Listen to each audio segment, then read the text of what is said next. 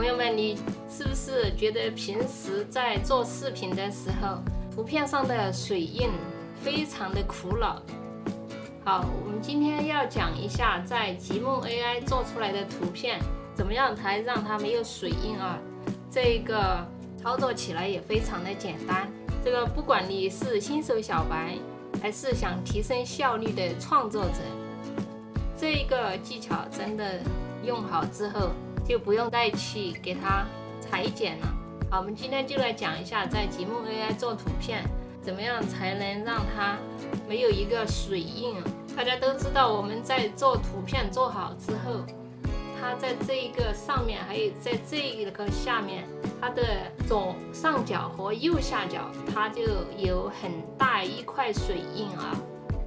好，我们怎么样才能让它没有水印呢？好，今天我就给大家讲一下这一个怎么来操作哈。好，废话不多说，好，我们先来生成生成一张图片来。好，我们生成图片做好之后，图片生成好了之后，好，可以看到在这里有一个水印哈，AI 生成的一个水印。好，我们在这里下载。如果在这里下载下来，好，我们看一下它的这一个图片，啊，这里很明显就看到这边有一个 AI 生成，还有一个极梦 AI 这样的一个水印哈。好，那么我们怎么样才让它做出来没有水印呢？好，接下来我们看重点。好，我们我们就点这里去画布进行编辑。好在我们这个画布编辑里面，它是没有的一点点的水印的哈，这个水印是没有的。好，我们在这里可以操作，比如说我们在其他图片做出来的有水印，我们可以在这里上传上来，好，把它局部重绘或者是消图、细节修复。好，我们先把这个图片这里就其他，如果你需要把这些不需要的东西把它消除掉的话，这里有一个消除笔。好，比如说这一块儿，好，我们不想要这一块，好，直接把这里把它抹掉哈。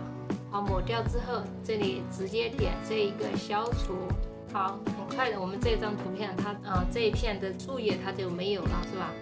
好，我们就可以直接导出来，导出键这里有一个右上角有一个导出键，好，我们直接点导出，这里有个下载。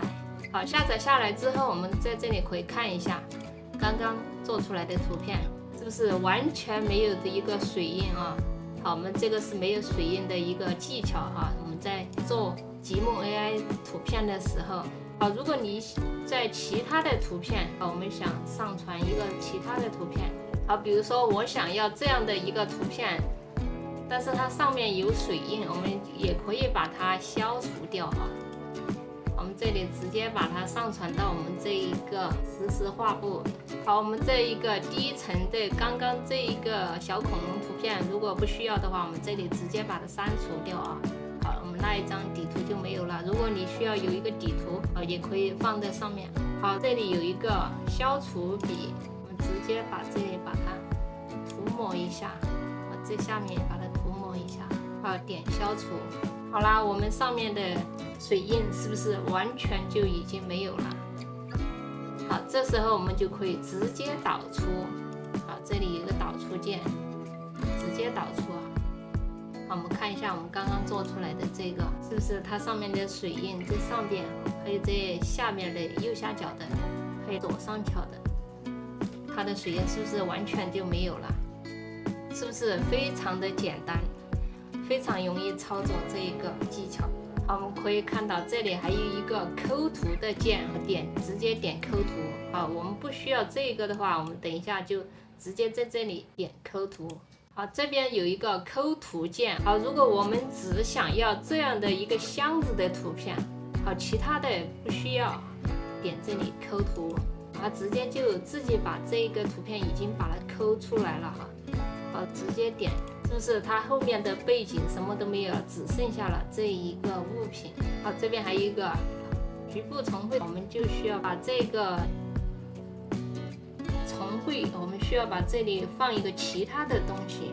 好，点局部重绘。我们把这一个物品换成一只黑色小猫咪，这个效果真的是绝了。可以看到一个纸箱，它已经变成了一只小猫咪蹲在这里了。在我们的极梦 AI，不管它是做视频，好，我们也可以把它保存下来，把它做成一个视频。好，它局部重绘画，它还有一个局部转向。我们再来测试一下它的这个局部转向，这可以看到它的一个头部已经。我们还可以把它这一个场景把它换成其他一个场景哈，比如说这一个纸箱是不是已经很单？非常的单调，没有什么东西在屋内哈。我们让它局部重绘，重新生成了一个屋。内家具齐全的一个场景啊，好，生成出来之后，这个图片大家一定要记得点这里一个导图键，这里一个下载哈，直接在这里下载哈，这样它出来的一个图片是没有任何一个水印的哈，这样都我们不用再去重复操作了，再去把水印给它去掉。好了，朋友们，今天我们的视频就讲到这里哈。好，如果今天这一期视频对你有帮助，别忘了订阅我的频道哦。后期我会更新更多的 AI 实操技巧。好，我们下一期再见。